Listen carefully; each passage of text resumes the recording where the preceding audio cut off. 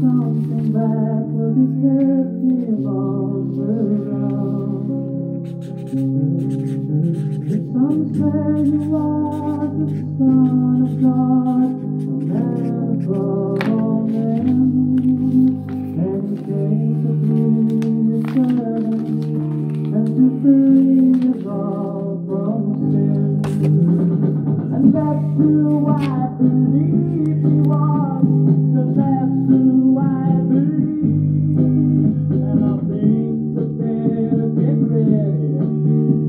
the man.